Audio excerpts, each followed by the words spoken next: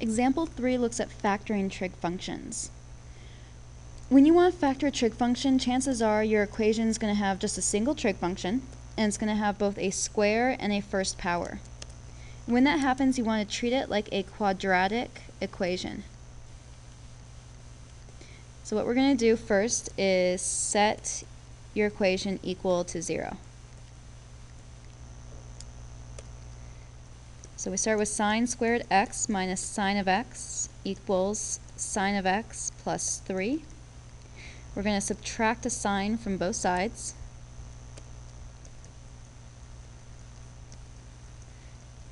We're also going to subtract 3 from both sides. This will give us sine squared x minus 2 sine x minus 3 equals 0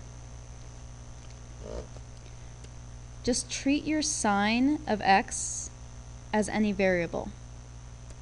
So this is analogous to having x squared minus 2x minus 3 equals 0. When we know that x squared minus 2x minus 3 is going to factor into x and x, we get 1 and 3, we're going to have a plus 1 minus 3.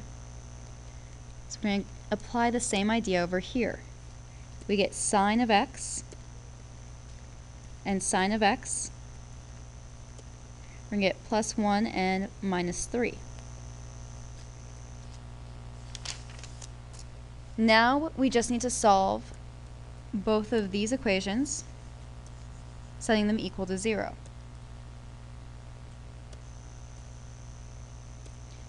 We get sine of x plus 1 equals 0, and sine of x minus 3 equals 0.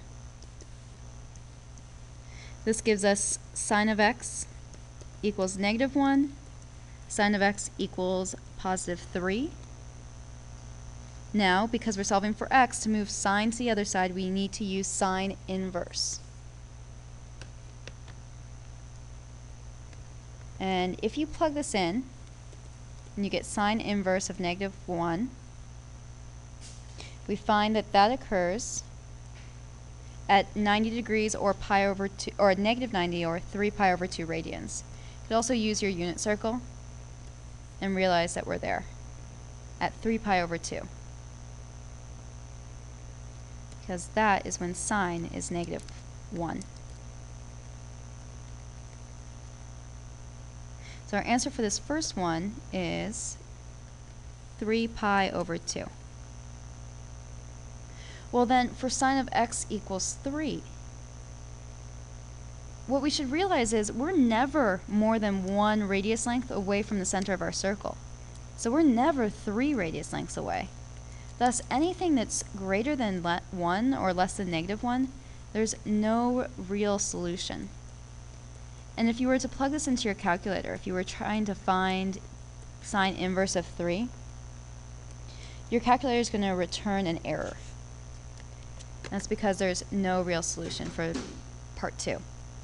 Thus, our only answer is x equals 3 pi over 2 plus 2 pi times n, where n is an integer. Because remember, we can go any number of laps that we want to before we come back to that angle. Go full lap and then reach 3 pi over 2, two full laps, and then 3 pi over 2, and so on.